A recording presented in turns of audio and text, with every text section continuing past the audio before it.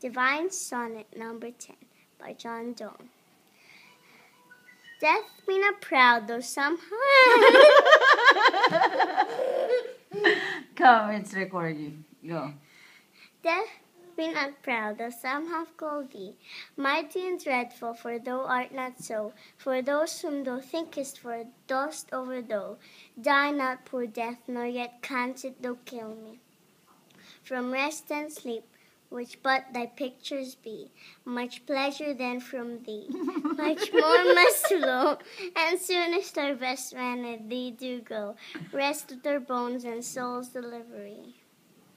Thou art slave to fate, chance, kings, and desperate men, and dost with poison war and sickness dwell, and popular charms can make us sleep as well and better than thy stroke, why swellest thou then?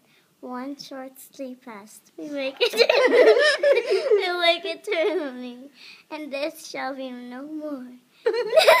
death thou shalt die.